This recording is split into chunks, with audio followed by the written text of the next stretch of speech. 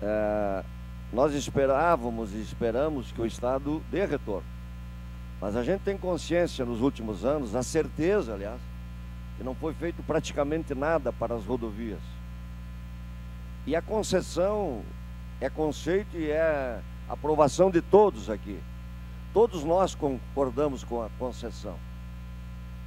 E a discussão sobre a concessão, ela aconteceu.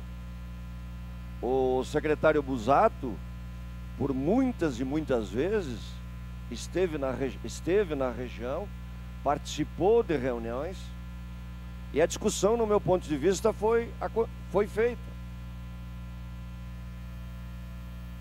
Depois das audiências públicas, o governo do estado também, em função da, da, das novas, dos novos investimentos em ciclovias, 10 quilômetros de ciclovias, investimento nas marginais e o compromisso de investir na, na, em outras rodovias acessórias, ele demonstrou que é, há uma preocupação e os investimentos vão acontecer.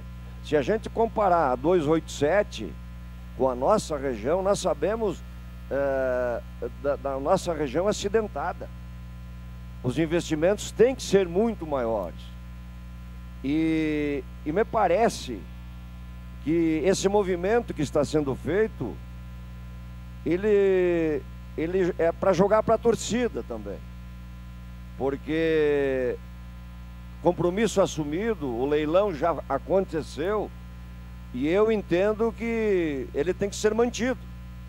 É questão de seriedade, é questão de responsabilidade. Em maio, com certeza, ele vai ser homologado. Quanto ao preço do pedágio, eu particularmente acho caro, todos nós achamos. E qualquer movimento que o governo possa fazer, eu sou parceiro nesse sentido. O valor é alto do, do valor do pedágio. Mas como disse, a discussão foi feita, os investimentos é a mesma coisa, tu vai construir uma casa de dois andares, tu vai ter um custo. Tu vai construir de três andares ou de quatro, tu vai ter um outro custo. E a nossa região exigiu maiores investimentos. E o governo do estado foi sensível a isso, atendendo. Mas em contrapartida, como disse muito bem o vereador Marcon, não tem almoço grátis. Alguém vai ter que pagar a conta. Então, voto a, uh, contra a moção, no sentido de que não tem mais nada a fazer no meu ponto de vista. E o governo do estado tem que assumir o compromisso, assumir a responsabilidade que ele já declarou e aceitou. Então é questão de responsabilidade eh, homologar o leilão. E outra coisa que eu tenho que dizer, só uma empresa apareceu. Isso é ruim, como foi dito em outros momentos, talvez surgissem outras interessadas.